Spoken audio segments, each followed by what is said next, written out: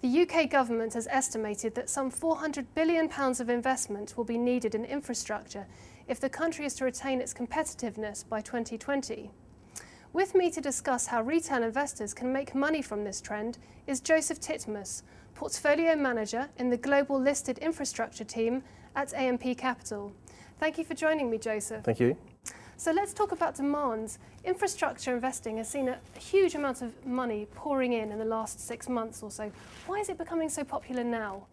We believe that over the last few years, investors have been increasingly recognising the benefits of infrastructure as an, as, as an asset class. Infrastructure is quite a unique asset class. It shares some investment characteristics with both bonds and equities. It pays out high dividend yields backed by sustainable uh, cash flows that often increase at or above inflation, and they benefit from long uh, asset lives.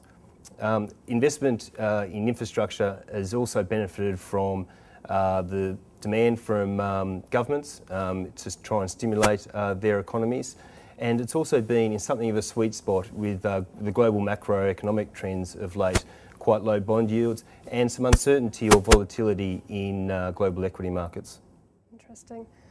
If a retail investor is watching and they think, I'd like to invest in infrastructure, how can they go about doing it? What are the channels through which they would need to invest?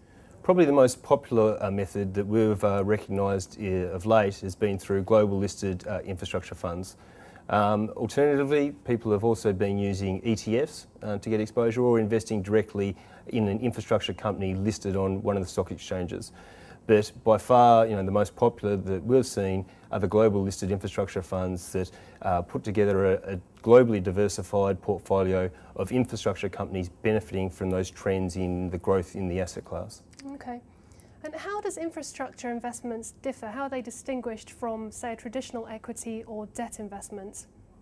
In, in, in, a couple of ways. So, like I said, they do share some uh, some uh, characteristics with uh, with both of those uh, asset classes but also they're, they're quite lowly correlated, so they bring good diversification benefits to um, an investor's uh, portfolio. It does share the, the high yields that uh, you'd associate normally with fixed income, but it also has some growth, which, uh, which you'd probably be more familiar with from, uh, from, from equities. Probably not to the same extent, but you'd probably see lower peaks and, and lower troughs. More stability is what we'd expect over the long term from global listed infrastructure. And how do you see the market evolving over the next uh, six to 12 months? Uh, over the next six to 12 months, there's uh, undoubtedly going to be some, some sort of further uh, volatility or, or uncertainty. You know, the, the world's in, a, in an interesting uh, place, place at the moment. Um, but that's, that's natural for, uh, for listed uh, investments. Um, we believe that investing in global listed infrastructure is for the long term. These are, these are, these are long-term assets.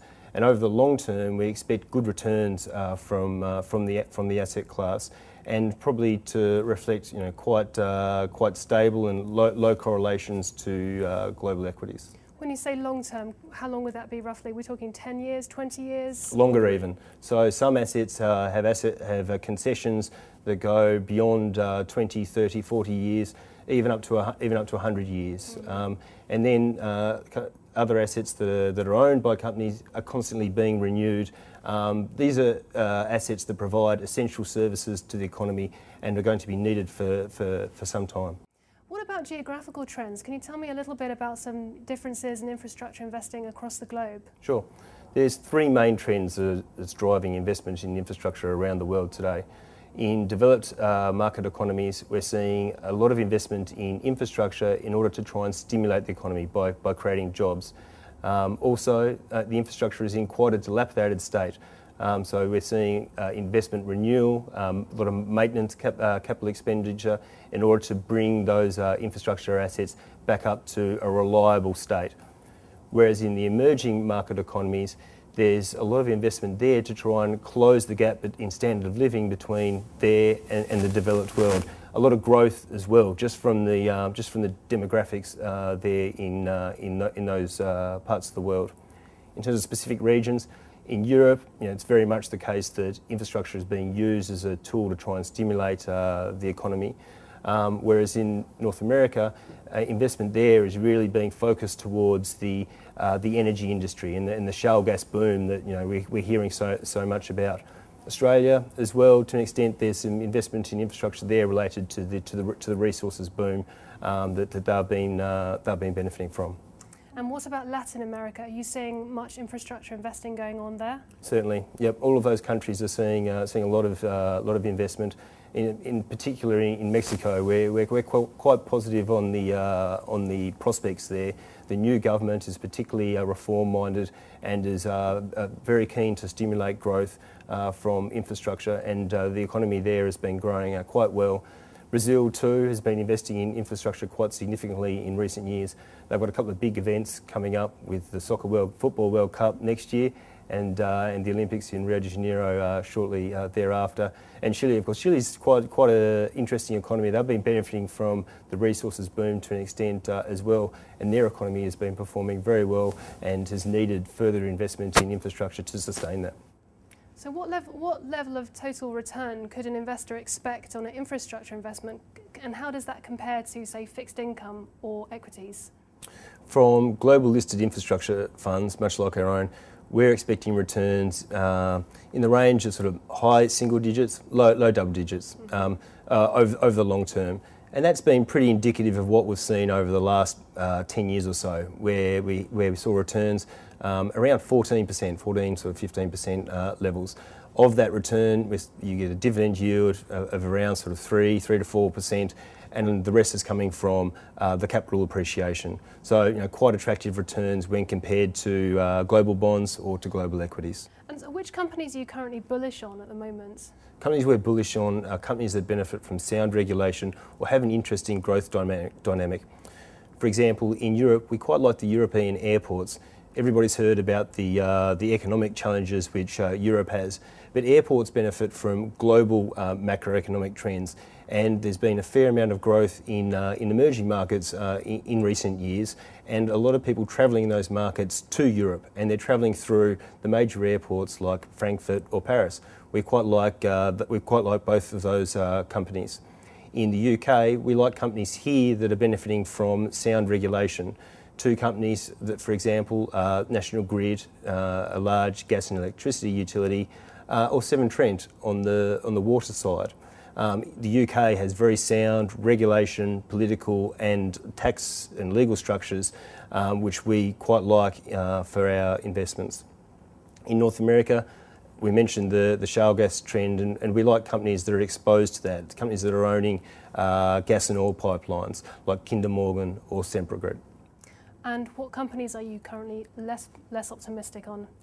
We're less optimistic on, uh, on companies where there's uh, um, more uh, regulatory risk um, than, than, what, than what we'd like, or companies that are looking uh, expensive. So they're pricing in uh, more growth uh, than we'd normally expect.